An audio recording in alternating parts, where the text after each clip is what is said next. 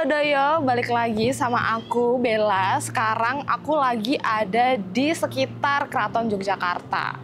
Jogja kan identik sama budayanya yang khas ya. Aku tuh lagi penasaran banget sama sejarah tentang keris dan senjata yang ada di Jogja. Aku denger-denger nih, ternyata di Museum Sono Budoyo tuh ada loh koleksi tentang keris dan senjata dari berbagai macam daerah dan punya filosofi yang berbeda-beda dan cukup menarik. Nah, tanpa lama-lama, mending langsung aja yuk kita ke Museum Sono Budoyo dah. Sekarang aku udah ada di Museum Sono Budoyo, tepatnya di ruang keris dan senjata. Tapi kali ini aku nggak sendiri, aku ditemenin sama edukator yang ada di Museum Sono Budoyo. Hai Mas, Hai. boleh kenalin nggak siapa? Saya Randy, saya pemandu atau edukator di Museum Sono Budoyo.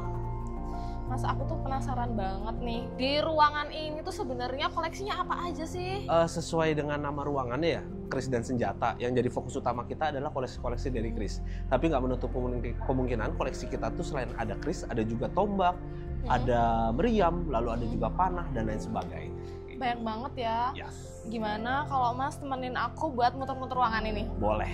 Kita ke koleksi utama dulu kali ya, keris ya lebih eh, fokus ke keris sih. Keris tuh bisa dibilang senjata yang penuh dengan filosofi. Mhm. Eh, nggak cuma senjata berlekuk aja tapi itu ada hubungannya juga dengan kedekatan manusia dengan Tuhan, Hmm. kedekatan manusia dengan manusia lain dan lain sebagainya. Dan ke situ normalnya lekukannya paling maksimal ada 13. Oh gitu ya mas. Aku penasaran banget nih mas. Di sini kan koleksinya banyak banget ya keris-kerisnya. Tapi yang membedakan antara keris satu dan keris lainnya itu apa sih mas? Ada sih kita salah satu keris yang bisa dibilang unik ya, Mhm. namanya keris Kalawijan. Kalau di sini- Wijan? Yes. Oh, ini ya? Ini dia keris Kalawijan. Keris Kalawijan tuh adalah keris dengan jumlah di atas 13. Di mana cara pembuatan dan proses pembuatan itu jauh lebih sulit dan lebih susah dibandingkan keris-keris yang ada pada umumnya. Kayak gitu. Keren banget sih. Mm-mm. Bahkan kita punya di sini keris Kalawijannya yang looknya ada 31.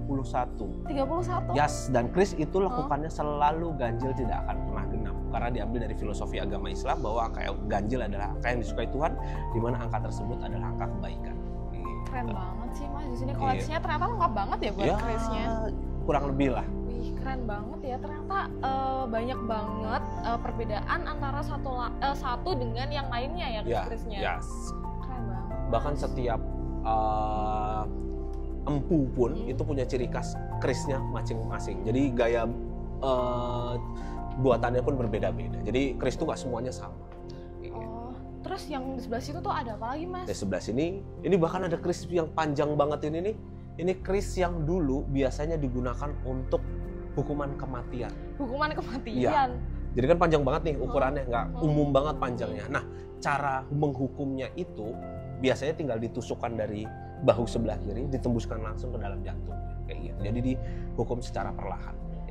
Ternyata banyak banget filosofi yang ada di keris ya mas. Yes. Jadi eh, nggak cuman dari bentuknya aja, tapi dari filosofinya pun beda-beda. Ya, yes, betul banget. Jadi apa pun tentang keris itu selalu ada beda-bedanya, macam-macam. Keren banget Iya, sih. Aku betul. penasaran banget sama yang lainnya. Boleh kita lihat lagi, lihat lagi yang lainnya. Oh, oh, oh. Ini apa mas nih kecil nih? Nah, ini yang kecil ini namanya pattern. Oh, Pattern itu adalah keris kecil yang Oh. biasa digunakan untuk wanita-wanita untuk menjaga diri. Kayak gitu. Jadi keris kecil ini memang sengaja dibuat ukurannya lebih mungil, mungkin setengahnya dari keris yang biasanya. iya. Nah, itu biasanya difungsikan untuk disembunyikan di bagian tubuhnya. Jadi kalau perempuan dalam bahaya tinggal ngambil senjata itu. Berarti ini semua perempuan zaman dahulu kah atau Hmm, gimana? tergantung Mas? perempuannya sih. Kalau perempuannya mau bawa ini boleh zaman dulu. Tapi tidak seluruh wanita pasti punya Oh. ini enggak, enggak semuanya. Gitu. Terus kalau yang ini apa mas? Yang di sebelah sini nih ada namanya deder. Deder Deder. itu, mm, deder itu bisa dibilang adalah handle ya, gagang uh, keris di mana setiap daerah itu memiliki deder uh, gagang yang uh, motifnya berbeda-beda. Jadi paling mudah sih sebenarnya membedakan itu keris-keris uh, deder dari keris-keris Bali. Itu biasanya karakter-karakter dari handle atau dedernya itu bentuknya lebih ke arah macam-macam sih ada manusia, uh, hewan, hewan mitologi, dewa dan lain sebagainya. Berarti yang eh, anggap aja istilahnya paling lengkap ya yang di. Bali ya berarti. Oh, keren-keren sih mas. Iya. Nah, kita juga ada nih di sini. Ruang di bagian belakang deder ini yang wajib kita intip. Kita lihat dulu sebelah sini. Penasaran banget. Iya. Iya yuk. Go. Nah, kita sekarang udah sampai di ruang yang mana koleksinya tuh kebanyakan tentang tombak dan meriam yang kecil-kecil. Yang senjata-senjata itu ya? Yes, betul. Nah, kayak kita di belakang kita ini nih ada eh, sarung tombak. Di mana setiap sarung tombak nih ada pembedanya masing-masing. Kalau kita lihat kan di sini ada yang motif-motif, ada juga yang Iya. polos. Bedanya apa? Untuk yang polos itu biasanya digunakan untuk eh, sarung tombak yang digunakan untuk perang biasanya. Jadi nggak perlu dibuat secantik Mhm. mungkin, ya tinggal dibuang aja. Soalnya kalau dibuat sebagus mungkin tuh sayang. Kayak kamu sama mantan.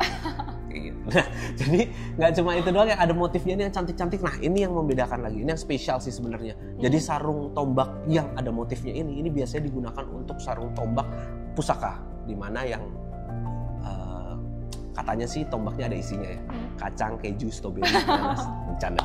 Jadi kayak gitu. Jadi yang ada isinya yang dianggap ada penghuni di dalamnya itu biasanya sarung tombaknya ada motifnya itu.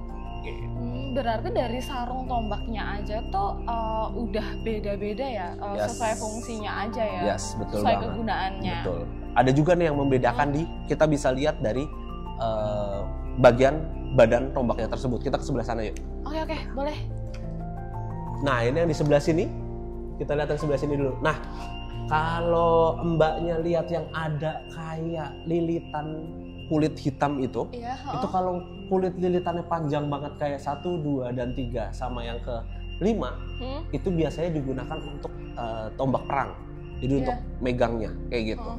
Lalu kemudian yang kosongan yang seperti nomor ini kan satu dua tiga Iya, empat. Nah, oh. yang nomor empat ini ini kan nggak ada garis hitamnya ya. Iya. oh. Nah, itu biasanya digunakan untuk kris pusaka biasanya. Iya, itu jadi buat bagian tombaknya pun dibeda-bedakan juga.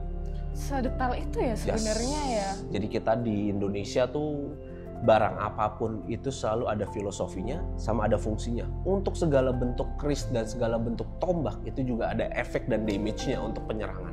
Iya. Eh, berarti tombak ini fungsinya apakah pada saat itu cuma buat perang aja nih mas, atau eh, ada fungsi lainnya? Sebenarnya tombak dan kayak tadi ya kita kris ya, lihat kris ya. Mhm. Kris dan tombak itu sebenarnya fungsinya nggak hanya untuk senjata, Hmm. tidak hanya untuk perang, tapi sebetulnya bisa juga digunakan sebagai hiasan rumah, mempercantik rumah atau ya untuk yang berbau mistis-mistis lah kayak Oh, gitu. Gitu. Keren banget sih. Kita lanjut lagi sebelah sana yuk. Oke, ada apa lagi mas di sebelah sini? Kita di sebelah sini ada miniatur meriam nih. Bukan miniatur sih, meriam kecil. Meriam kecil. Ah, ah, lebih tepatnya. Jadi nggak kayak lucu meriam banget sih. lucu-lucu tapi mematikan kayak gitu sama kayak si dia kan kecil-kecil tapi mem- mematikan Eh, bercanda bercanda nah yang sebelah sini ada yang paling panjang banget maksudnya ukurannya Oh, panjang oh. nggak ada rodanya nggak ada tadahannya Uh-huh. ini biasa digunakan untuk meriam-meriam kapal biasa gitu dan bentuknya tuh seperti Detailnya bagus banget wah ya ini. mirip-mirip naga ya Iya, heeh, Iya. kayak naga. Keren Ah. banget sih detailnya. Kalau yang kecil itu apa sih, Mas? Nah ini juga meriam-meriam yang uh, digunakan juga untuk perang, tapi damage-nya tidak sebesar uh, meriam-meriam yang besar-besar yang Hmm, pelurunya hmm, tuh sebesar bola sepak lah ya. Kalau ini Hmm. lebih kecil lagi.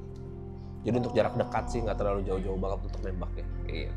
Macem-macem banget ya Mm-mm. ternyata koleksi yang ada di sini. iya betul banget. Gitu. Ini kita lanjut lagi sebelah Oke. sana. ya. Terus mana lagi nih Mas? Dari tadi kan kita kayaknya ngomonginnya eh, senjatanya dari Jawa, Bali, kayak gitu-gitu. Eh, yang lainnya ada nggak sih Mas da- dari dua itu? Jadi sebenarnya ada ya. Jadi sebenarnya fokus kita tuh memang dari kalau kita lihat dari tadi Jawa Bali aja, Hmm, fokus koleksi kita tuh sebenarnya dari Jawa, Bali, Madura dan dari Iya. Lombok. Tapi kita kasih pemanis lah di sini. Kita kasih tunjuk bahwa koleksi kita tuh nggak cuma dari Jawa, Bali, Madura dan dari Lombok. Sebenarnya di Indonesia seluruh Indonesia pun ada. Nah contoh ya satu yang sebelah sini.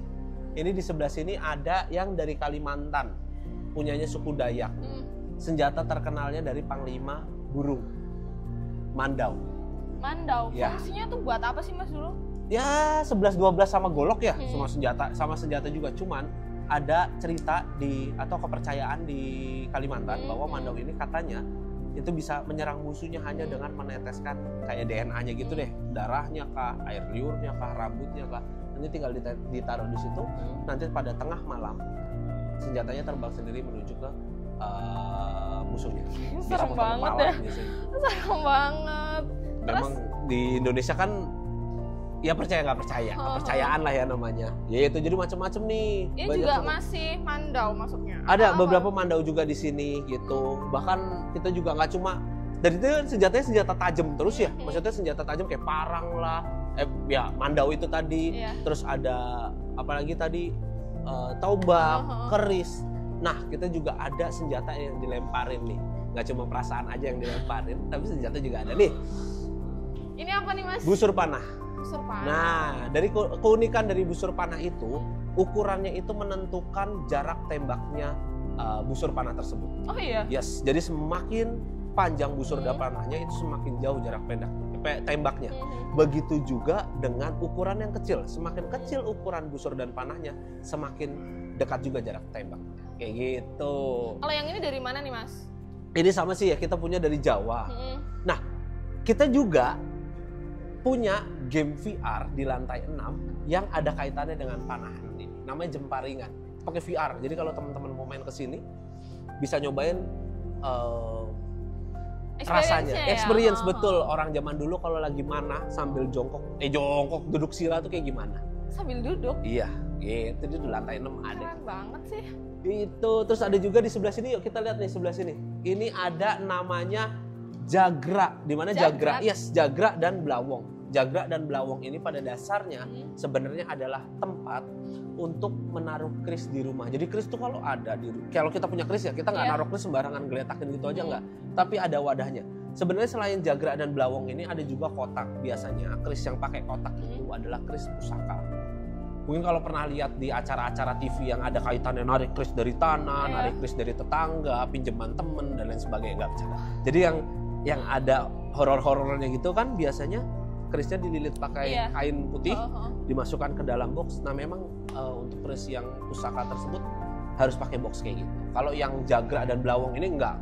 Jadi cuma buat hiasan. Selain ditaruh di atas meja, bisa juga ditaruh di atau ditempel di dinding. Jadi kris selain fungsinya untuk senjata, bisa juga untuk hiasan rumah.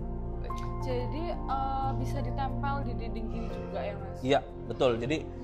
Chris nggak mau nonton aja, kan nggak mungkin kita bawa setiap hari kayak tidur dipakai, Iya, mandi dipakai, kayak gitu enggak. Jadi bisa juga ditaruh di rumah. Jadi biar rumahnya juga bisa. Kalau di Jepang biasanya yang ditaruh di rumah tuh samurai-samurai. Oh. Kalau kita Indonesia pakainya Chris. Keren banget sih ya. Iya. Eh, ternyata di senjata-senjata ini di ruang keris dan senjata ini banyak banget koleksi-koleksinya. Yes. Terus juga eh, aku juga baru tahu nih Mas sebenarnya. Ternyata dari luarnya aja ya. Mm-mm. Dari luarnya terus dari pegangannya Mm-mm. semua punya cerita, semua punya filosofi. Kayak aku Betul. kagum banget sedetail itu ternyata. Betul, betul, betul banget. Jadi seperti yang aku bilang tadi, Mm. keris itu tidak hanya senjata biasa aja tapi penuh dengan filosofi. Yang Mhm. diutamakan yang jadi fokus adalah filosofi kedekatan antara manusia dengan sang pencipta, Mm. manusia dengan manusia yang lain. Keren Gitu. banget sih Mas. Kayaknya teman-teman harus banget gak sih Harus ke sini? wajib banget. Kalau apalagi kalau yang teman-teman suka dengan senjata-senjata klasik, senjata-senjata original punya Indonesia nih, bisa datang ke Museum Sono Budoyo. Kalau untuk yang lantai kris dan senjata itu ada di lantai 3 Gedung Hasta Brata. Jadi segitu aja jalan-jalan kita hari ini. Buat temen-temen yang penasaran sama koleksi di Museum Sono Budoyo, jangan lupa ke sini dan ajak teman-teman yang lain. Dah.